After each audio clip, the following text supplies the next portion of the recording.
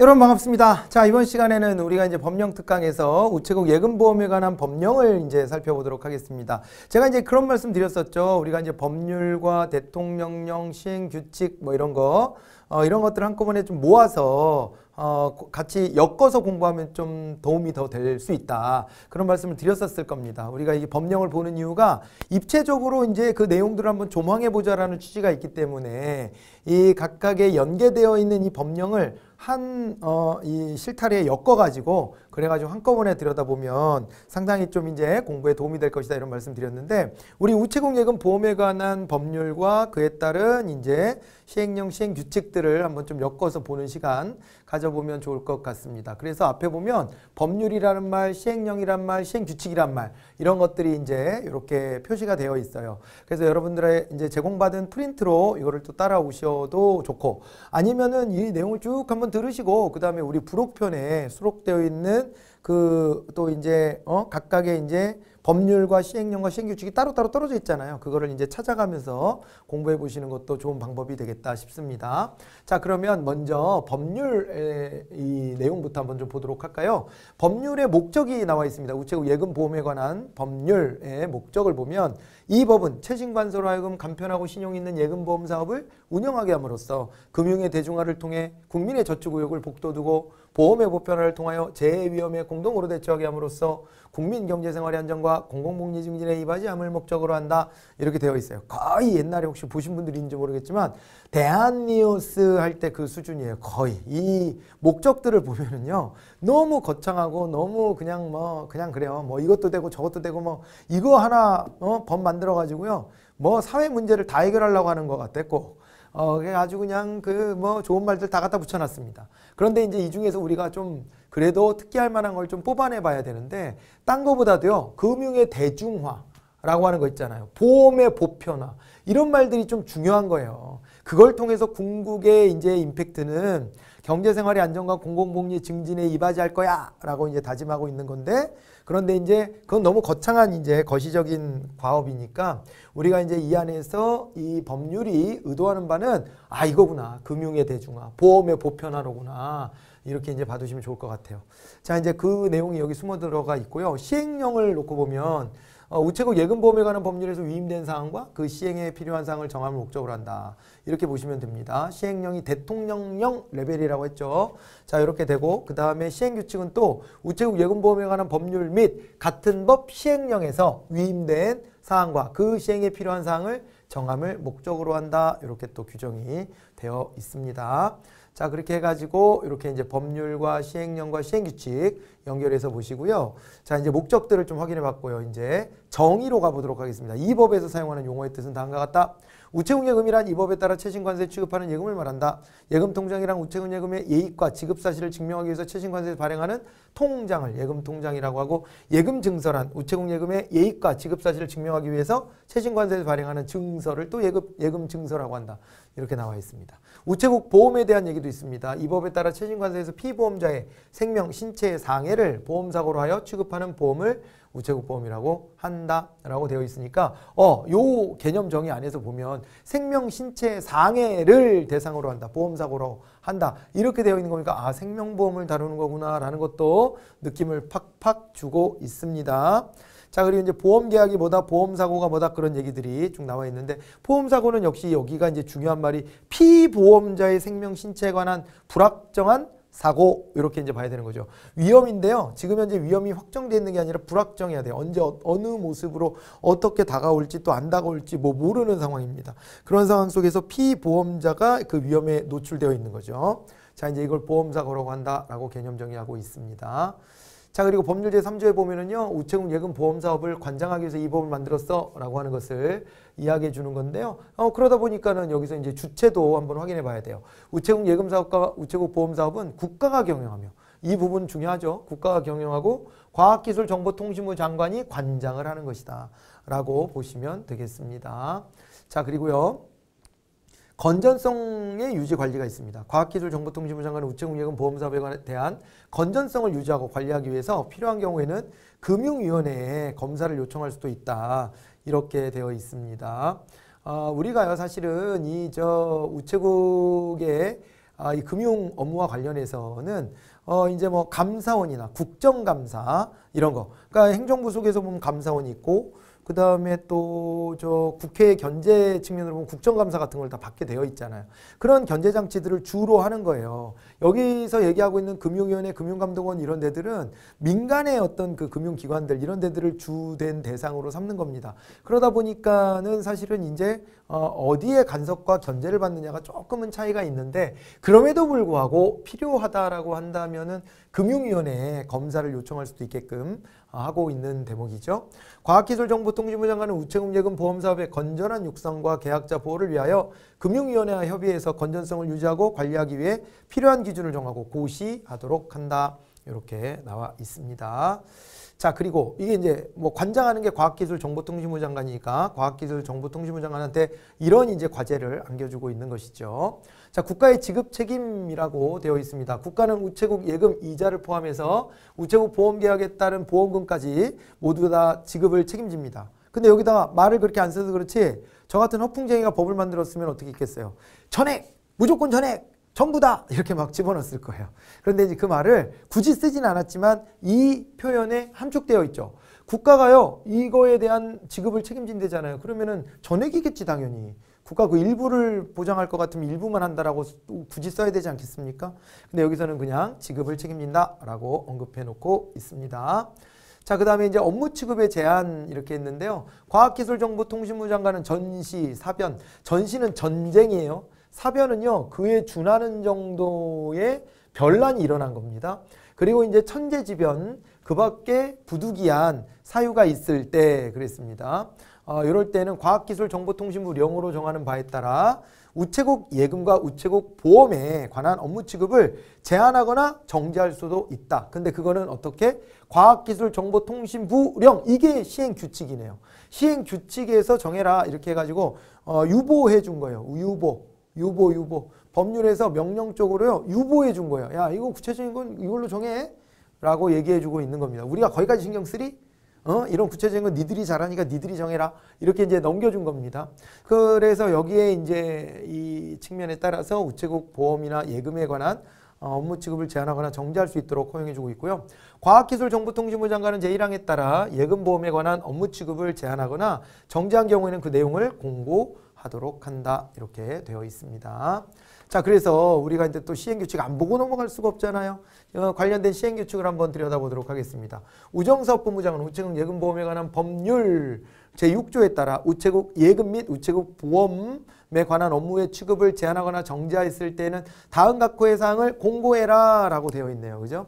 자, 그래서 업무 취급이 제한 또는 정지되는 최신 관서가 어딘지, 제한 또는 정지되는 업무의 내용은 무엇인지, 제한 또는 정지되는 기간은 어떻게 되는지, 그 밖에 우정사법부장이 필요하다고 인정하는 사항에 대해서 어, 이렇게 이제 공고하도록 되어 있습니다. 자 그리고 법률로 다시 넘어와서요. 법률 제7조 피해 예금자 등에 대한 이용 편의의 제공 이런 얘기가 나와 있습니다. 과학기술정보통신부 장관은 전시, 사변, 천재지변 그 밖에 부득이한 사유로 피해를 입은 예금자 및 보험계약자, 피보험자 또는 보험수익자에게는 이렇게 되어 있거든요. 그러니까 이제 앞에서 보니까 전시사변, 천재지변 같은 부득이한 경우가 일어났을 때에는 어쩔 수 없이 이제 그, 그 거래를 중단시키고 막 그랬잖아요. 그러다가 피해를 입는 사람이 있을 수 있다는 얘기 아니겠습니까? 그러면 또 이것도 과학기술정보통신부령으로 정하는 바에 따라서 예금보험의 업무 취급에 관한 수수료를 면제하거나 그 밖에 이용 편의를 제공해서 좀 어? 토닥토닥 좀 해줘라. 그런 얘기가 또 나와 있습니다. 자, 과학기술정보통신부 장관 제1항에 따라 수수료를 면제하거나 그 밖에 이용 편의를 제공할 때는 그 내용을 공고해야 된다라고 되어 있습니다. 그래서 또 이용 편의의 제공을 어떻게 할 것인지 그런 얘기가 나와 있어요. 수수료를 면제해 주죠. 그 다음에 또 보험료 납입 유예 기간을 연장해 주죠. 어, 우정사법 부정이 특히 필요하다고 인정하는 조치도 같이 따라와 주죠. 이런 거를 하고 있다는 겁니다. 자, 이제 그렇게 받으시고요. 어, 이제 그래서 앞에랑 이렇게 비교를 해보시면 좋겠습니다. 자, 법률 8조로 한번 넘어가 보겠습니다. 예금보험의 증대 활동 그랬는데요. 과학기술정보통신부 장관은 예금보험을 늘리고 유지하기 위하여 필요한 활동을 할 수 있다. 1항에 따른 활동의 내용과 활동 경비의 지출에 필요한 사항은 또 과학기술정보통신부령으로 정해라. 이렇게 했습니다. 또 볼까요? 그 시행규칙으로 또 넘어와 봤습니다. 넘어와 봤더니 예금보험을 늘리고 유지하기 위해서 필요한 활동이라고 하는 게 뭐냐. 최신관세 직원 등이 예금보험을 모집하는 행위야 수납하는 행위를 하라. 그 이거 예금 보험 가입자 늘려라 이런 얘기입니다. 제 1호의 행위와 관련된 요 1호가 여기 일 말하는 거예요. 아시죠? 몇 조, 몇 항, 몇 호 이렇게 됩니다. 그리고 요 밑에도 가, 나 이렇게 나오는 게 있거든요. 그럼 목이라고 읽는 거예요. 목, 목. 어, 그렇게 읽는 건데 여기 보시니까 최신관세 직원 등이 예금보험을 모집하는 행위, 수납하는 행위, 또 어 이제 1호의 행위와 관련된 홍보, 교육, 지도, 감독 등 예금보험을 늘리고 유지하기 위해서 필요한 모든 활동, 또 우체국이라는 명칭을 사용해서 이거 홍보에 많이 써먹어. 신뢰 이름이잖아. 이렇게 하고 있나 봐요. 자, 우체국이라는 명칭을 사용하는 행위까지 이제 포함을 하고 있습니다. 됐죠? 자 이제 그렇게 왔고 그 다음에 시행규칙 제8조를 보니까 예금증대 활동에 경비가 또 필요하잖아요. 아니 그럼 저런 활동을 하려면 앞서서 말했던 그런 활동을 할 때 경비가 필요한데 그건 어떻게 해야 돼요? 그랬더니 개인 모집 경비. 자, 예금을 모집한 최신관세 직원 및 우정사업본부장이 지정하는 자에게 지급하는 경비가 이제 나가고요. 관서 모집 경비도 있습니다. 예금을 모집한 최신관서에 지급하는 경비 이렇게 되어 있고 아, 그 밖에 모집 경비도 있습니다. 우정사업본부장이 필요하다고 인정하는 경우 최신관세 직원 및 최신관서에 지급하는 경비 이렇게 해서 경비 대줄게 하고 있는 거고요. 자, 그리고 우체국이라는 명칭의 사용료도 이제 언급이 되어 있습니다. 이것도 일종의 경비라고 보는 거예요. 어, 이제 우체국 로고도 박아야 되고, 뭐, 그 다음에 이걸 사용하는데, 뭐, 이제 법적 관계가 또 발생할 수도 있고, 뭐, 그러니까 그런 것들의 사용료를 또 하나의 비용으로 보고 있고요. 제1항에 따른 경비 지급 기준, 지급 방법, 지급 시기 및 그 밖의 경비에 필요한 사항은 우정사업본부장이 따로 정해라니 또 이제 또 밑에다 하청 좋네. 그죠? 야, 이거는, 야, 이거 장관이 직접 하리? 네가 하리? 네가 해라? 우정사업본부장 네가 해라? 이렇게 좀 떠넘겨주고 있네요. 그죠? 자 그리고요 시행규칙 제61조에 가보면 보험의 모집에 관련된 내용도 나와요. 다음 각호의 어느 하나에 해당하는 자는 보험의 모집과 보험료의 수납을 할 수 있는데 최신간서 직원 당연히 하는 거고요. 우정사업본부장이 지정하는 개인 또는 법인 그래서 우리가 요 내용을 쭉 다 열거해서 봤었어요. 그죠? 어, 봤었는데 거기에 뭐 이제 FC들이 있었죠. FC, TMFC들이 있었고 그 다음에 이제 어 또 이제 저 어, 다른데 우리가 또 이제 위탁준 네, 이런 데들도 같이 포함을 하고 이렇게 해가지고 그걸 쭉 열거했었잖아요. 그 내용을 좀 떠올려 보시면 되겠습니다. 자 시행규칙도 제 62조까지 가보니까 보험증대 활동의 경비가 또 나옵니다. 예, 요거에 관련된 내용도 있는데 영업 촉진 경비 같은 게 이제 있네요. 그리고 우체국이라는 명칭의 사용료 같은 것들을 포함 하고요. 그죠? 어, 이런 거를요. 또 이제 우정사업본부장이 지급하게 좀 만들어 놓고 있어요. 구체적인 내용이 나오죠. 모집한 보험 금액의 1천분의 2에 해당되는 금액이다 그랬으니까 보험 금액 이랬어요. 모집한 보험 금액이에요. 보험 가입 금액 이렇게 아, 이제 전체적으로 보면 되겠죠. 내는 보험료 말고 보험 가입 금액의 천분의 2에 해당하는 금액 정도를 할당할 수 있어 이렇게 말하고 있어요. 그리고 수납한 보험료에서 기준으로 보자면 100분의 1에 해당하는 금액이다 이렇게 언급해주고 있습니다. 자 그리고 우정사업본부장은 영업촉진 경비를 다음 각호의 구분에 따른 지급 기준을 고려해서 해당 관세에 지급해줘라 라고 하고 있어요. 보험 업무를 취급하는 최신 관세에 어 이제 보험의 모집 및 수금 실적에 따라 가지고 이걸 고려해서 어 이제 어 영업 촉진 경비를 좀 나눠줘 이렇게 하고 있는 거죠. 실적에 말하면 더 많이 받겠네, 그죠? 경쟁을 붙이고 있어요.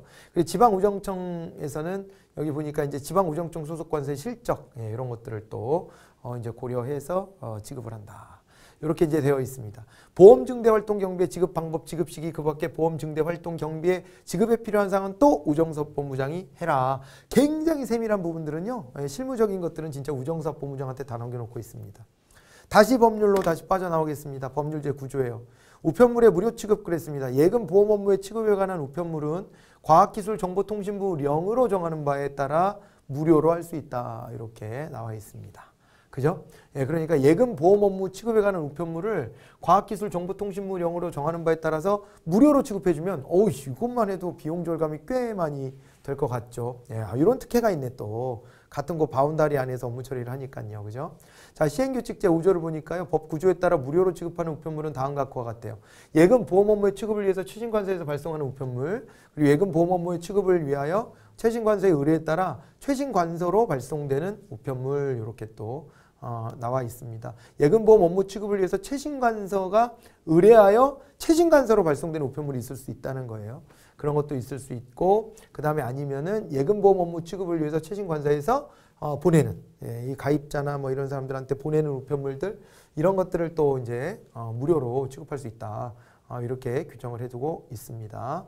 자, 그리고 이제 시행규칙 제6조는 창구 업무 취급 시간인데요. 이런 거는 좀 애매해서 여기다 집어넣은 거예요. 그냥. 아, 이게 너무, 너무 좀 생뚱맞기도 하고 그래서 이 시행규칙도 필요하긴 한데 어디다 넣어야 되나 하다가 그냥 여기다가 눈치껏 5조 다음에 6조니까 쓱 집어넣은 겁니다. 그냥. 이거는 무슨 맥락이죠? 라고 이제 너무, 너무 따지시면 안 됩니다. 예, 모든 시행규칙이 전부 다 이제 상위법의 근거에서 만들어졌다라고 말할 수는 없어요. 네, 그렇기 때문에 네, 이제 이렇게 약간 어, 이렇게 좀 이렇게 어? 오리알 신세 된 애들은 불러 모아갖고 야 너 얘 뒤에 나왔던 애니까 따라 붙어 좀 따라가 꽁무니 쫓아가 이렇게 해가지고 제가 여기다 수록해 놓은 겁니다 그냥 자 보시면은요 창구 업무 취급 시간 그랬는데 예금보험에 관한 창구 업무 취급 시간은 은행법 제2조 제1항 제2호에 따른 금융기관의 창구 업무 취급 시간을 고려해서 우정섭 본부장이 정하여 고시합니다. 다만 최신관서는 특히 필요할 때에는 창구 업무 취급 시간을 연장할 수 있으며 이 경우 해당 최신관서 앞에 이를 게시하도록 한다라고 해서 아, 은행 닫는 시간에 같이 닫아요. 한 4시, 4시 반? 아, 요즘엔 제가 확인 안 해봐서 정확하게 기억은 안 나네. 근데 이제 어, 곧쯤 해가지고 닫아버립니다. 여기도. 그 옆에 우편 업무는 접수 받는데 이건 접수 안 받고 그러잖아요. 그죠? 이제 그렇게 보시면 됩니다. 왜냐면 마감 치고 그 이후에 해야 될 일들이 많아요. 또. 예, 그러니까 이런 시행규칙의 이런 내용도 언급을 해주고 있고요. 자, 법률 제10조로 다시 나와 봅니다. 관계부처와의 협의 등에 대한 규정입니다. 과학기술정보통신부 장관은 제14조 제2항에 따라 예금의 종류별 이자율을 정하려면 금융위원회와 협의하여야 한다. 그랬습니다. 다만 한국은행법 제28조 제13호에 따라 금융통화위원회가 정하는 기준의 범위에서 이자율을 정하려는 경우에는 어, 이제 그러하지 아니하다. 이렇게 되어 있네요. 자, 그러니까 예금의 종류별 이자율을 정할 때 금융위원회와 협의하도록 되어 있어요. 기본적으로. 예. 그 금융위원회 지도 편달 감독을 다 받아야 되는 건 아닌데 우체국 같은 경우는 우체국 금융은 그렇긴 하지만은 금융위원회와 또 협의해야 될 이런 내용도 어, 있습니다. 예, 그리고 그 다음에 과학기술정보통신부 장관은 계약보험금 한도액을 과학기술정보통신부령으로 정하려면 어, 이제 금융위원회와 또 협의해라 이렇게 되어 있습니다. 그러니까 지금 이걸 보면 예금의 종류별 이자율과 계약보험금의 한도액 같은 거를 이제 정할 때 과학기술정보통신부령으로 정할 때 금융위원회와 협의하도록 되어 있다라고 하는 부분이에요. 자, 이제 그렇게 봐두시고요. 근데 위에 이제 단서 조항이 좀 있었잖아요. 궁금해 하실까봐. 다만 한국은행법 제28조 제13호에 따라 금융통화위원회가 정하는 기준의 범위에서 이자율을 정하려는 경우에는 그렇지 않다. 그러니까 이거 금통위가 정하는 기준 범위면은 이게 뭡니까? 이게 지금 기준금리 말하는 거 아니에요? 기준금리보다 못한 이자를 주겠다고요? 기준금리보다 낮은 이자를 주는 거? 그거야 뭐. 낮은 이자율을 책정했기 때문에 그 경우는 또 예외로 되어 있는 그런 대목도 있네요. 제3항입니다. 과학기술정보통신부 장관은 국채 및 공채 매매 이율과 그 다음에 제1항 단서에 따른 예금의 종류별 이자율 여기 이제 1항 단서죠. 다만 요거에 따른 어 이제 종류별 이자율을 정한 때에는 금융위원회에 알려주기는 해야 된다. 이렇게 되어 있고요. 그리고 예금 거래와 관련된 약관을 제정 또는 변경했을 때에도 금융위원회에 알려줘라라고 되어 있습니다. 자, 과학기술정보통신부 장관은 보험의 종류를 수정하려면 보험업법 제5조 제3호에 따른 기초서류 등을 금융위원회에 제출하고 협의하여야 한다. 과학기술정보통신부 장관은 회계연도마다 보험의 결산이 끝났을 때에는 재무제표 등 결산 서류를 금융위원회에 제출하고 협의하여야 하고 2항사항 5항에 따른 제출 서류와 협의 절차 등에 필요한 사항은 과학기술정보통신부령으로 정한다. 이렇게 되어 있습니다. 그래서 어, 우리도 이제 금융업을 하기 때문에 이 금융업과 관련해서 금융위원회하고 소통해야 되는 측면들을 상당히 많이 접점을 만들어 놓고 있다는 것을 확인해 보실 수 있겠네요. 자, 그 다음에 시행규칙입니다. 계약, 계약보험금, 한도액 등에 관한 협의, 요거 이제 구체적으로 좀 보는 거예요.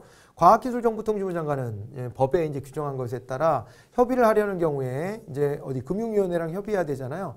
그때는 다음 각고의 구분에 따른 서류를 금융위원회에 제출해야 된다.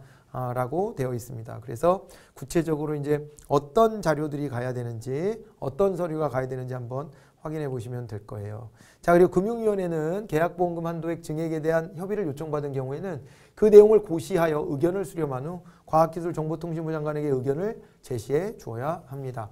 이 경우 계약보험금 한도액의 증액분이 물가상승률을 반영하기 위해서 필요한 금액보다 많지 아니하고 적절한 경우에만 동의를 해 주어야 한다. 이렇게 언급되어 있습니다. 자, 그리고 금융위원회는 법 제10조 제4항 및 제5항에 따른 협의를 요청받은 경우에는 협의를 요청받은 날부터 15일 이내에 의견을 서면으로 제시하도록 되어 있습니다. 아주 구체적인 내용들이 나오죠. 시행규칙으로 들어가 보면요. 그죠? 과학기술정보통신부 장관은 2항, 3항에 따라 금융위원회가 제시한 의견에 따라 필요한 조치를 또 취해줘라. 이렇게 되어 있습니다. 자, 그래서 서로 협의하는 이런 내용들, 과정들이 언급이 되어 있었고요. 그 다음에 이제 법률 제2장 예금에 들어가서 거기 제11조 예금의 종류를 봅니다. 예금은 요금을 예금과 저축성 예금으로 구분한다. 이렇게 되어 있습니다. 예, 그래서 예금의 종류와 종류별 내용 및 가입 대상 등에 관하여 필요한 사항은 과학기술정보통신부 장관이 정하여 고시하도록 하고 있는데 요금을 예금은 수시 입출식 예금이겠죠. 그죠? 수시 입출이 가능한 수시 입출식 예금이 되는 것이고 저축성 예금이다라고 한다면은 이거는 이제 그죠? 돈을 어, 거치식으로 굴리는 거 이런 걸 우리가 이제 저축성 예금이라고 보통 얘기를 많이 하고요. 그거에 이제 변형과 같은 형태로 목돈이 없더라도 다달이 적립해서 돈을 이제 목돈을 만들어서 어 이제 어, 또 그걸 굴리려고 하는 게 이제 적립식 예금이 되는 거겠죠. 자 이제 이렇게 봐두시고요. 그 다음에 넘어가 봅니다. 법률 제12조인데요. 예금 통장 등의 발급 그랬습니다. 최신관서는 예금자가 처음 예입할 때는 예금자에게 예금 통장이나 예금 증서를 내어줘서 아, 우리가 이런 거 거래하기로 했어요. 이렇게 약정이 됐네요. 라고 하는 것에 대해서 어, 이제 일종의 이것도 증거를 남기는 거예요. 이렇게 예, 되는 게 예금 통장입니다. 그리고 어떤 매개체가 되는 거죠. 앞으로도 이제 수시로 거래를 하게 될 때 그럴 때 이걸 매개로 거래합시다. 이런 또 선언이 될 수도 있는 것이고 그렇습니다. 아니면은 또 이제 우리가 또 이제 저축성 예금 같은 거는 이거는 또 만기가 됐을 때 찾으러 와야 되잖아요. 그럴 때 또 증서가 증표가 될 수도 있는 겁니다. 자 그리고 법률 제13조에 인감 및 서명에 관련된 내용이 나와 있습니다. 예금자가 예금에 관하여 사용할 인감 또는 서명은 최신관서에 신고된 것이어야 한다. 이렇게 되어 있으니까 맨 처음에 이제 그 예금 계약 같은 거를 맺을 때 그럴 때 이제 인감 도장을 찍든 아니면 서명을 남기든 해야 되잖아요. 예, 요거는 이제 최신관서에 신고된 것으로 한다. 이런 부분이고요. 제1항에 따른 인감은 예금자의 신고를 받아 변경할 수 있다. 뭐 물론 변경도 가능해야 된다. 그런 얘기입니다. 자, 그리고 이제 인감의 변경을 할 때는 어떻게 해야 되는지 시행 규칙에 또 이제 규정이 있습니다. 예금자가법 13조 제2항에 따라 인감을 변경하려는 경우에는 인감 및 예금 통장, 예금 증서, 지급 증서와 함께 인감 변경 신고서를 최신관서에 제출해라. 이렇게 되어 있습니다. 그러니까 기존의 인감 도장으로 날인되어 있는 것들이 있을 테니까 그런 거 가지고 오고 그 다음에 인감 변경 어, 신고서도 제출해라. 이렇게 하고 있는 것이고요. 자, 법률 제14조로 넘어가 보면 예금에 대해서는 과학기술정보통신부 령으로 정하는 바에 따라 이자를 지급하게 되어 있습니다. 뭐 예금이 있으면 당연히 이자는 따라 붙어야 되는 것이죠. 예금의 종류별 이자율은 금융기관의 이자율을 고려해서 과학기술정보통신부 장관이 정해서 고시하도록 하고 있습니다. 그래서 이제 이것도 시행규칙에다가 이자의 계산법을 또 이제 넣어 놓고 있습니다. 예금의 이자는요, 예금의 종류별로 1할 이율, 1할 하루 하루 하루로 나눴을 때 이율, 그리고 이제 월 이율, 그리고 또 연 이율 이런 방식으로 이제 계산하도록 하고 있다는 것이고요. 예금의 이자 계산은 예금 잔액에 그 예금 잔액의 예금 일수를 곱하는 방법으로 하되 산출된 누계액이 10원 미만인 경우에는 이자를 계산하지 않는다. 이렇게 되어 있습니다. 어, 그러니까 예금 잔액에다가 그 예금 잔액의 예금 일수를 곱하는 방법으로 해가지고 이자율을 거기다가 이제 포함해서 넣으면 되는 건데 어, 그런데 이제 어, 산출된 누계액이 10원 미만이다 그럼 우리가 이제 절사하는 거죠. 이자를 계산하지 않는다. 어, 이렇게 했습니다. 우리가 이제 요게 보통 이자를 계산할 때도 이제 그 부분 10원 미만은 안 쓰는데 아 여기는 산출된 누계액이 10원 미만이면은 그거에다 이자를 붙이면은 10원 미만 단수가 나오니까 이것도 어, 이제 계산하지 않는 것으로 보시면 되겠네요. 자, 그리고 이제 제 1항, 2항에서 정한 사항 외에 예금의 종류별 이자의 계산 방법 및 정기 계산 시기에 관한 사항은 우체국 예금약관으로 정해서 우정사업본부장이 고시하도록 되어 있습니다. 자, 그 다음에 또 시행규칙 제10조로 가보면 예금 원부의 관리 그랬습니다. 예금 원부는 우정사업 정보센터에 장이 기록하고 관리하도록 하는 겁니다. 원부에 기록이 됐다 어땠다 그런 표현들 많이 들어보셨잖아요. 센터장은 예금 계약의 성립 소멸, 예금의 예입 지급 그 밖에 예금에 필요한 사항을 예금 원부에 다 기록을 남겨놔야 된다. 이렇게 보시면 되겠습니다. 지금 뭐 전산으로 다 하겠죠. 자 그리고 이제 예금 원부의 변경인데요. 예금자가 예금 원부의 기재사항을 변경하려는 경우에는 어, 이제 예금원부 변경 신청서를 최신관서에 또 제출하도록 하고 있습니다. 그리고 이제 예금자가 예금 계좌를 개설한 최신관서를 변경하려고 하는 경우에는 해당 가입국 또는 변경하려는 최신관서에 가입국 변경 신청서를 제출하면 또 이제 바뀔 수도 있는데 특별히 뭘 또 이걸 그렇게까지 또 가입국을 변경할 필요가 굳이 그렇게 크게 높게 있는 부분이 뭐 있을까요? 예, 잘 없죠. 우리가 일상적인 거래를 할 때에는 크게 신경 쓰지는 않아도 될 부분이긴 한데 이런 제도가 또 어, 이용 가능합니다. 예금의 예입 부분이 나왔습니다. 예금의 예입은 현금이나 과학기술정보통신부령으로 정하는 유가증권 또는 증서로 한다라고 되어 있고요. 예금자는 제1항에 따른 유가증권 또는 증서로 예입을 한 경우에는 그 유가증권 또는 증서로 결제하거나 지급한 후가 아니면 그 예입금의 지급을 청구하지 못한다 이렇게 되어 있습니다. 그리고 제2항에 따라 유가증권 또는 증서가 결제되거나 지급되지 아니하면 예금이 예입되지 아니한 것으로 본다 이렇게 되어 있습니다.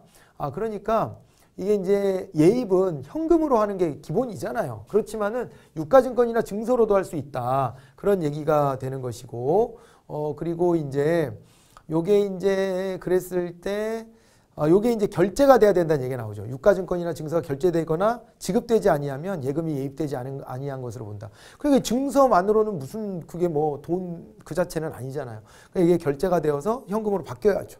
그래야지 이게 예금으로서의 효력이 생기는 것이야 라는 얘기를 하고 있죠. 시행규칙 제14조에 예입 가능한 유가증권 및 증서의 종류가 또 나와 있습니다. 거기 보니까 이제 자기합수표도 있고요. 그 다음에 또, 어, 어떻게 되어 있습니까? 우편 대체 증서, 우편 환증서 이런 것들도 있죠. 그죠? 어, 그래서 이게 우리가 최신관서이기도 하니까 최신관서로서의 이게 이제 우편 대체나 우편 환 같은 서비스를 또 취급을 하니까요. 그런 것들 여기다 포괄하고 있습니다. 자 그리고 이제 결제, 불능, 증권 등을 어떻게 반환하느냐 그 구체적인 내용이 나와 있네요. 최신관사는 예입된 증권 등이 결제 또는 지급되지 아니하였을 때에는 그 사실을 예금자한테 알려야 돼요. 이거 부도난 겁니다. 그래서 이제 1항에 따라 통지를 받은 예금자는 해당 증권 등의 예입을 지급한 최신관서에 통장 등 입금한 영수증 등을 제출해야 됩니다. 그 최신관서는 제 2항에 따라 통장 등 어, 또는 입금한 영수증 등이 제출된 때에는 해당 예입을 취소하고 해당 증권을 예금자에게 돌려주는 거예요. 이거 뭐 현금으로 결제되면 입금 시켜드리려고 그랬는데 현금화가 안 됐네. 예, 그냥 다시 찾아가세요. 이렇게 하는 거예요, 그냥. 예? 이거, 이거 증권이 이게 부도난 것 같은데. 어, 현금화가 예정된 날짜 안 됐는데. 그럼 다시, 다시 가져가세요, 이거. 우리는 예금, 예금으로 인정을 못 해드리겠어요. 이렇게 하고 있는 거잖아요, 지금. 그죠? 예, 그런 것으로 이해하시면 되겠습니다. 예금액의 제한이 또 있습니다. 과학기술정보통신부 장관은 예금의 종류별로 예금자가 예입할 수 있는 최고 한도액을 또 정할 수 있습니다. 과학기술정보통신부 장관은 거래 관행과 업무 취급의 편의 등을 고려해서 예금자가 한 번에 예입할 수 있는 최저액을 정할 수 있도록 하고 있기도 합니다. 그래서 이게 최고 한도액도 있고 최저액도 설정할 수 있고 예, 이렇게 보여지죠. 과학기술정보통신부 장관은 제1항이나 2항에 따라 최고 한도액이나 최저액을 정한 경우엔 그 금액을 고시해 주도록 되어 있습니다. 자 그리고 예금의 지급입니다. 최신관세에서 예금 통장이나 예금 증서에 의하여 예금자의 청구를 받아서 지급을 해 주는 것으로 보시면 되겠죠. 자 이렇게 지급을 해줄 텐데 자 이제 예금 자금의 운용입니다. 일단은요 예금을 예입을 받아서 그걸 가지고 운용하다가 그러다가 이거를 이제 지급을 해달라고 요구하면 또 지급도 해주고 그러는 것 아니겠습니까? 자, 그럴 때요. 자, 볼게요. 예금 자금의 운용과 관련된 부분인데요. 과학기술정보통신부 장관은 예금의 지급에 지장이 없는 범위에서 예금 자금을 다음 각호의 방법으로 운용한다 이랬습니다. 금융기관에 예탁할 수 있고요. 재정자금에 예탁을 할 수가 있다 이렇게 되어 있습니다. 자 그리고 어 이제 증권의 매매 및 대여 같은 것도 할 수 있고 그리고 또 자금 중개회사를 통해서 금융기관한테 빌려줄 수도 있어요. 아 그리고 또 파생상품 거래도 할 수 있고요. 그리고 또 이제 대통령령으로 정하는 업무용 부동산을 취득하고 처분하거나 임대 수익을 또 거둘 수도 있습니다. 이렇게 해가지고요 아주 구체적으로 이 돈을 어디다 굴릴 수 있을까가 이제 언급되어 있어요. 이런 것들이 좀 심화적으로 우리 시험에서 어, 갑자기 허를 찌르면서 고차원 문제로 예, 굉장히 고난이도 문제로 출제될 수 있는 성질의 것들이에요. 그러니까 이런 거는 느낌이 딱 있잖아요. 야 이런 건 좀 알아두면 좋겠다. 음, 우체국에서 그럼 돈을 받아서 예금 받아서 어디다 굴린대? 구체적인 것도 좀 알면 더 좋겠네. 이런 생각이 쫙 딱 오지 않아요? 느낌이? 에, 그런 거 느낌 오는 애들을 중심으로 해서 보셔야 돼요. 그 느낌은 과학적 근거가 있냐? 없죠. 과학적 근거는. 없는데 여러분들이 공부를 했기 때문에 여러분들이 확장하기 좋은 주제에 대해서 그 촉이 올 거예요. 아, 요거는 내가 공부한 거에서 한 발 더 들어가는 건데, 어, 요 궁금하네? 이런 생각이 들었다는 얘기는 우리가 중요하게 공부한 내용과 연계되어 있다는 것의 방증이에요. 그래서 되게 과학적이진 않지만 여러분들의 그 직관 능력을 믿으시면 돼요. 그래서 이런 것들은 좀 한번 해두면 좋겠는데 싶은 게 있으면 그런 것들은 한번 더 주의 깊게 봐두시면 아, 그게 또 피가 되고 살이 될 때가 올 수도 있습니다. 예, 그러니까 이런 구체적인 얘기들도 쭉 한번 보시면서 그러면서 예금 자금을 운용할 때 이제 어떻습니까? 이거 이제 뭐 사실은 돈을 굴려서 우체국 입장에서 돈을 또 부풀려야지 이자도 주고 할 거 아닙니까? 그런 거를 위해서 여러 가지 방법을 쓸 수 있게끔 이렇게 해주고 있는 거예요. 자 그리고 요거 한번 봐보세요. 시행령 제 3조 2에 보면 업무용 부동산의 범위 이렇게 나왔는데요. 이거 시험에 나왔었던 거 아닙니까 실제로. 요게요. 이게 우리 본문에 나옵니까? 본문에 안 나와도 법령에 있다는 이유만으로 시험에 낼 수 있다니까요. 자, 그래서 이거 보면 예, 우체국 예금보험에 관한 법률 제18조 제1항 제6호에서 대통령령으로 정하는 업무용 부동산. 아니 방금 말했잖아요. 여기 이제 업무용 부동산 요거 얘기했잖아요. 업무용 부동산이 뭐야? 그게 궁금하네. 그 범위가 어디까지야? 뭐 이렇게 했을 때 영업시설을 어 이제 영업시설, 영업시설을 어 이제 업무용 부동산이라고 볼 수 있고 연수시설도 업무용 부동산이에요. 그러니까 부동산 투기를 하면 안 되잖아요. 아무리 돈을 굴리라고 했다고 핵기로손이 이거를 갖다가 어 정부 기관이 나서 가지고 아 이거를 부동산 투기를 하고 돌아다닌다. 아 이거는 너무 심하지. 어 그래서 그건 안 되고 영업시설이나 연수시설, 복리후생시설 같은 것들을 업무용 부동산이라고 지칭을 합니다. 그런데 있잖아요. 영업시설 같은 경우 한번 봐보세요. 연면적의 100분의 10, 10% 이상을 우정사업이 직접 사용하는 시설을 영업시설이란대요. 그러면요. 아니 최대 90%까지는 임대도 주고 그럴 수 있다는 얘기네. 그런 얘기 아닙니까? 영업시설이라고 해놓고 거기에 10% 정도만 어 이거를 우정사업에 직접 사용하고 나머지를 다 임대 줘도 되잖아요. 이렇게 수익을 거둬도 되죠. 임대 수익 거두는 것 자체는 나쁘다고 말할 수 없어요. 그것은 부가가치를 창출하는 이윤 창출 행위에 해당이 되고 어 이것이 그 이윤 창출한 거의 일부를 임대 수익으로 가져가는 형태니까요. 우리가 이제 그거를 투기다 이렇게 말할 수는 없는 거거든요. 그러니까 이제 이런 정도의 틈을 열어두고 있는 것이기도 합니다. 그래갖고 요거 요 괄호에 나와 있는 내용이 시험에 직접 출제된 바 있으니까 유의해서 한번 또 보시면 좋을 것 같습니다. 자, 법률 제18조 예금자금의 운용에 대해서 또 2항의 내용인데요. 어, 이제 제1항 제3호에 따른 증권의 매입, 같은 항 제4호에 따른 금융기관에 의대여 같은 항 제5호에 따른 파생상품 거래의 각 총액이 예금자금에서 차지하는 비율과 같은 항 제6호에 따른 업무용 부동산의 보유 한도는 예금의 안정을 해치지 않는 범위에서 과학기술 정보통신부령으로 정한다. 그러니까 그거를 돈을 굴리라 그랬다고 돈을 막 예금 받은 걸 막 다 가져다가 무리하게 막 부동산 하고 막 이러면 안 된다는 얘기죠. 안정성을 해치지 마라. 그런 얘기를 하고 있습니다. 과학기술정보통신부 장관은 제1항에 따른 자금의 운용으로 생긴 수익금으로 이자를 지급하고 그 밖에 필요한 비용도 충당해서 쓸 수 있도록 하고 있습니다. 그럴 때 또 이제 자 이 비율이 또 궁금하잖아요. 그러면 이제 얼마나 매입을 할 수 있느냐 그 비중을 보는데요. 자 이제 이 증권을 매입할 때에는 증권을 매입할 때에는 요게 보니까요. 지분증권의 취득가액 총액을 예금자금 총액의 20% 이내로 해라. 이렇게 해놓고 있습니다. 아, 그러니까 예금 받았다고 그거 갖다가 무조건 다 가져다가 아, 이렇게 이제 증권을 막 다 매입하면 안 되고 이건 위험하잖아요. 증권을 매입한다는 얘기는 수익이 날 수도 있지만 손실을 입을 수 있다는 것을 전제하기 때문에 야 손실의 우려를 걱정한다면은 예금자금 총액의 100분의 20 정도까지만 에, 최대한 하더라도 그 정도까지만 어, 일단 증권을 매입할 수 있도록 하자 이렇게 보는 거예요. 자, 그 다음에 어, 금융기관의 대여 금액도 있었잖아요. 제 4호에 보면 금융기관에 대여할 수 있다며요. 그때는 예금자금 총액의 100분의 5 이내로 한다. 이렇게 구체적으로 짜놓고 있는 5% 이내로만 하라는 거고요. 그 다음에 또 이제 파생상품 거래 중 장내 파생상품을 거래한 이건 더 위험하거든요. 파생상품은 진짜 이거는 어떻게 보면 어, 이제 해지 수단으로 원래는 이용되는 것이지만 그만큼 이게 레버리지가 될 수도 있어요. 그래서 이게 이제 보면은 아, 위탁 증거금 총액이 어, 예금 자금 총액의 100분의 1.5, 1.5% 이내밖에 허용을 안 해주고 있어요. 그래서 이 부분들도 시험에 나왔던 기억이 저한테는 있거든요. 네, 그러니까 여러분들도 이 내용들은 조금 더 확인을 잘 해 놓으시면 좋겠다 싶습니다. 자 그리고 또 이제 또또 또 또 다른 내용도 있네요. 파생 상품의 거래 중 장외 파생 상품을 거래하기 위한 기초자산의 취득가액 총액은 또 이제 100분의 20 이내로 한다. 어, 이렇게 되어 있습니다. 그죠? 그렇게 돼 있고 그 다음에 그러니까 파생 상품 거래 중 또 장외 파생 상품은 그 중 또 20%밖에 안 돼. 뭐 이런 얘기예요. 그리고 또 이제 업무용 부동산의 보유 한도는 자기 자본의 100분의 60 이내로만 해야 됩니다. 또 뭐 부동산에 몰빵한다거나 뭐 그렇게는 또 못하게 되어 있죠. 이런 부분들까지를 확인해 보시고요. 국채 및 공채 매도 부분이 있습니다. 어, 이제 여기 매입한 증권 중 국채 및 공채는 채신관서에서 매도할 수 있는데요. 이 경우 매수인이 요청하면 환매를 조건으로 해가지고 또 이제 어, 이거를 이제 어, 판매할 수 있게끔 되어 있습니다. 그리고 이제 환매를 조건으로 매도하는 국채 및 공채의 매매 이율은 과학기술정보통신부 장관이 정해서 고시하게 되어 있고 그 다음에 이제 1항에 따른 국채 및 공채 매도 환매 조건부 매도에 관한 절차 취급 최신 관서 그 밖에 필요한 사항은 과학기술정보통신부 령으로 정하도록 또 하고 있습니다.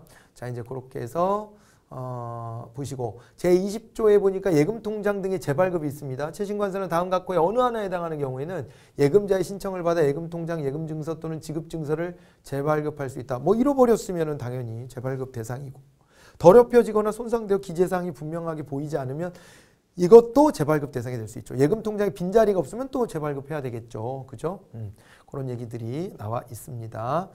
그리고 이제 예금 통장 등의 재발급 수수료와 그 납입 또는 면제, 그 밖에 재발급 절차 등에 관해서는 또 이제 어, 시행 규칙으로 정해라. 라고 되어 있습니다. 그래서 또 나와 있죠. 시행규칙이 예금자가 법 제20조 제1항 제1호에 해당하여 통장 등을 재발급 받으려는 경우에는 과학기술정보통신부 장관이 정하여 고시하는 수수료를 납부해야 됩니다. 그런데 어? 2호, 3호에 해당돼서 통장 등을 재발급 받을 때는 최신관세 통장 등을 제출하면 된다. 이렇게 돼 있어요. 그러니까 이건 분실했기 때문에 이거는 어떻게 해요? 수수료를 납부하고 재발급 받아야 되고요. 2호, 3호는요. 반납하면 된다는 거예요. 그죠? 예. 요거를 이제 기존의 통장을 제출하면 이거 재발급 해줄게. 그렇게 하고 있는 겁니다. 자 그렇게 보시고 법률 제21조입니다. 예금통장 등의 제출인데 최신관서는 예금 업무를 취급하기 위하여 필요하다고 인정할 때는 예금자에게 예금통장이나 예금증서를 제출하도록 또 요구할 수가 있습니다. 자 그리고 시행규칙 제17조인데요. 통장 등의 제출에 대한 구체적인 얘기가 또 따라 나와 있습니다. 최신관서가 법 21조에 따라 통장 등의 제출을 요구할 때에는 미리 그 취지 및 제출 방법 등을 해당 예금자에게 알려야 되고요. 어, 통지를 받은 예금자는 그 통지서에 적힌 제출 방법으로 통장 등을 최신관서에 제출하도록 하고 있습니다. 그리고 어, 이렇게 이제 통장 등이 제출됐다면 예금자에게 통장 등의 예치급 예치증을 발급해야 된다. 그러니까 통장을 어, 이제 제출 받았으니까 아이 통장을 우리가 어, 보유하고 있다는 것을 어, 증명해 줄게요. 라고 이제 예치증을 발급하는 거예요. 그리고 통장 등을 예금 원부와 대조한 후 직접 또는 등기우편으로 예금자에게 다시 반환해 줘라. 이렇게 되어 있습니다. 자, 권리자의 확인 등인데요. 최신관서는 예금통장 또는 예금증서의 소지인이 예금의 지급을 청구한 경우에는 그가 정당한 권리자인지를 꼭 확인해 봐야 되는 거죠. 그렇죠? 예, 그래서 권리자를 꼭 확인해라. 그렇게 되어 있고 정당한 권리자인지 어떻게 확인하느냐? 시행규칙으로 가보니까요. 어, 확인할 때 예금자로 예금 정당한 권리자임을 증명하는 서류를 제시 또는 제출하게 할 수 있습니다. 최신과는 1항의 방법으로 예금자가 정당한 권리자인지를 확인할 수 없을 때는 보증인의 선정도 요구할 수가 있습니다. 그리고 예금자가요 예금의 현재 잔고를 확인하려는 경우에는 현재 어, 잔고 확인 신청서를 현재고 어, 확인 신청서를 최신관서에 제출해라. 최신관서는 제1항에 따른 청구를 받으면 전산 원부를 확인한 후 이를 확인하는 증명서를 해당 예금자에게 내어 주어야 한다. 이렇게 되어 있습니다. 제20조 거래중지계좌의 편입 이렇게 되어 있습니다. 자, 최신관서는 요구불 예금 계좌가 다음 각고의 어느 하나에 해당될 때는 거래 중지 계좌에 해당 계좌를 편입할 수 있다라고 되어 있습니다. 요구불 예금 계좌 중에서 잔액이 만 원 미만으로 1년 이상 계속해서 거래가 없거나 잔액이 만 원 이상 5만 원 미만으로서 2년 이상 계속해서 거래가 없거나 잔액이 5만 원 이상 10만 원 미만으로서 3년 이상 계속해서 거래가 없을 때 이럴 때는 이걸 거래 중지 계좌로 편입할 수 있다. 그러니까 이런 액수 규정 같은 거는 또 이렇게 마음먹기에 따라서는 또 출제자가 슬쩍 끌어다가 출제하기도 좀 편하잖아요. 네, 이런 것들도 한번 유의해서 들여다보시면 어떨까 싶습니다. 제1항에 따른 거래중지 계좌의 편입은 매년 2회 동안 하며 상반기에는 5월 마지막 일요일에 편입하고 하반기에는 11월 마지막 일요일에 편입하도록 하고 있네요. 어, 그래서 통상은 6월 말, 12월 말 그럴 것 같은데 그거보다는 한 달 앞당겨서 5월 말, 11월 말 이렇게 이제 보시면 되겠네요. 그죠? 자, 이제 그렇게 되고 그리고요. 시행규칙 제21조입니다. 거래, 거래 중재 계좌가, 계좌가 있더라도 부활 및 해약을 할 수 있다. 최신관사는 예금자가 거래 중재 계좌에 편입된 예금의 부활 또는 해약을 청구하면 우정사업본부장이 정하는 바에 따라 해당 예금을 부활시키거나 해약해 주어야 한다라고 되어 있고요. 손해에 대한 면책이 있습니다. 최신관사는 다음 각호의 어느 하나에 해당하는 경우에는 지급이 늦어져서 발생한 손해에 대해서 책임을 지지 않는데요. 그러니까 지급 청구가 이 법을 따르지 않았을 때 예, 그때는 뭐 최신관서가 책임져야 될 일이 아니라는 겁니다. 천재지변이나 그 밖에 부득이한 사유로 업무 취급을 하지 못하게 된 경우에도 최신관서의 책임이라고 말할 수는 없어요. 예, 면책 규정이 이렇게 따라붙어 있습니다. 어, 그리고 예금 지급 청구권의 소멸 규정도 있는데요. 최신관서는 예금자가 10년간 예금을 하지 아니하거나 예금의 지급, 이자의 기입, 어, 그리고 또 이제 인간 변경, 예금 통장, 의 재발급 신청 등을 하지 않았다. 아무런 액션도 없는 거예요. 그럴 때는 과학기술정보통신부 영어라고 정하는 바에 따라 그 예금의 지급 청구나 그 밖에 예금의 처분에 필요한 신청을 할 것을 최고하여야 한다. 이렇게 되어 있습니다. 최고하는 건 독촉하는 거라 그랬죠. 이거 안 해요? 이거 해야 될 텐데. 아, 이거 10년간 안 하면 이거 안 되는데? 이런 식으로. 그래서 예금 지급 청구권이 소멸될 수 있으니까 그 부분을 알려주는 어, 이제 수단이 되는 거죠. 최고한다는 게. 제1항에 따른 최고라는 2개월이 지나도록 예금 지급의 청구나 그 밖에 예금의 처분에 필요한 신청을 하지 아니한 경우에는 그 예금에 관한 예금자의 지급 청구권이 아예 소멸돼 버릴 수 있습니다. 예, 그래서 이런 걸 이제 최고 받았을 때는 빨리빨리 가가지고 단돈 얼마밖에 안 되더라도 이걸 이제 처리하는 게 이게 이제 이득이 되는 거죠. 당연히 예금주 입장에서 자기 권한인데 그죠? 이게 날라가 버리면 얼마나 아깝습니까? 이런 규정이 있어요. 지급증서를 발행한 예금에 관한 지급 청구권은 어, 그 발행 후 3년간 지급을 청구하지 아니한 경우에는 소멸하게 되어 있다.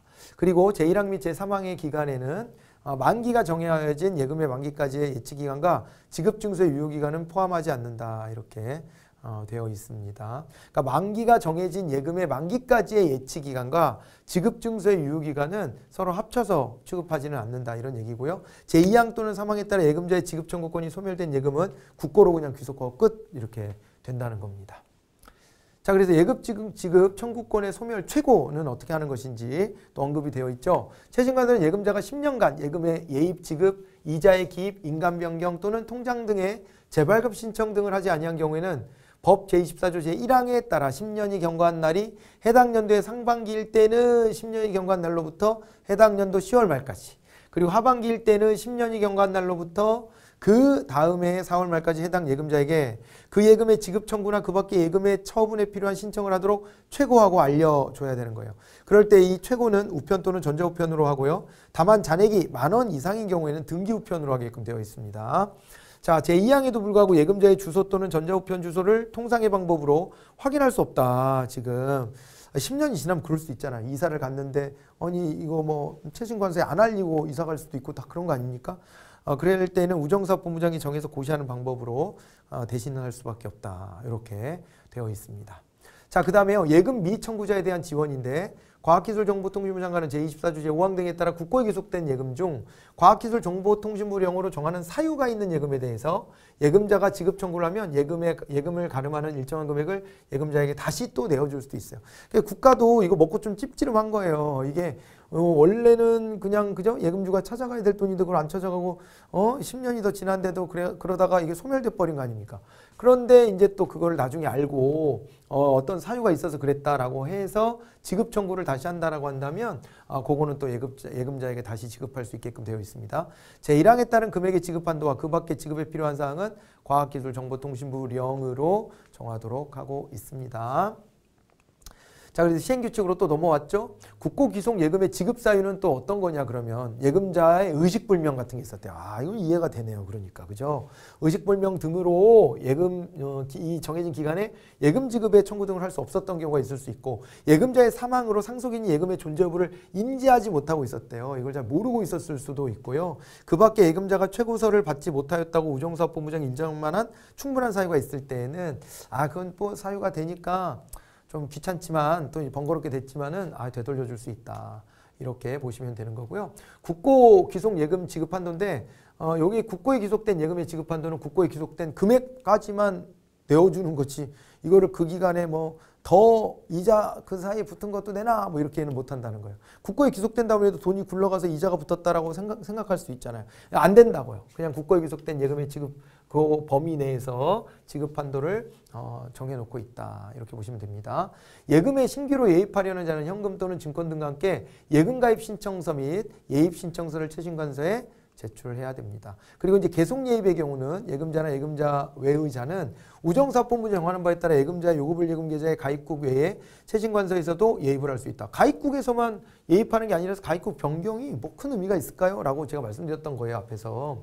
자, 예금자가 저축성 예금의 월 부금을 납입하려는 경우에는 예금 통장과 함께 현금 또는 증권 등을 최신관서에 제출해야 됩니다. 이 경우 예금자는 우정사업본부장이 정하는 바에 따라 가입국 외의 최신관서에서도 예입을 할 수 있다. 또 이것도 그렇게 되어 있습니다.